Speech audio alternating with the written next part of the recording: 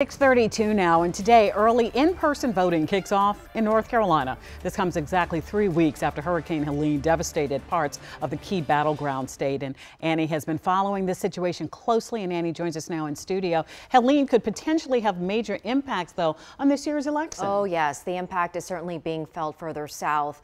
Helene is impacting how things are happening. Election officials have been scrambling to ensure that every voter in North Carolina is able to cast a ballot in this crucial election. Right now, the State Board of Elections website, it has updates about polling places that have been relocated, how constituents can vote if they lost their ID in the storm, and how displaced voters can request new absentee ballots. Just a slew of issues. And I was just curious which areas specifically were impacted most by Helene. And if you take a look here, this is a map that FEMA shared showing the designated disaster areas following the storm, which you can see includes 25 western western counties. Now, within those 25 disaster counties, there are more than 1.2 million registered voters. And according to election data, that's about a fifth of registered voters in the entire state. If you break that disaster number down by party, there are more than 294,000 Democrats impacted and more than 482,000 Republicans.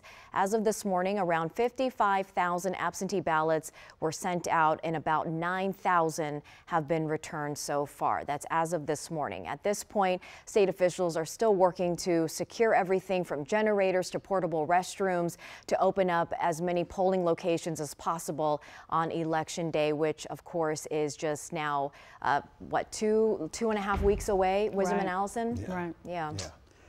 It's Could be, make it tough. Right. I mean, it's going to be very, sure. very right. tough. Yeah. Hopefully they can get on top of it and everybody does get counted. Yeah. All right. Thank you, Eddie.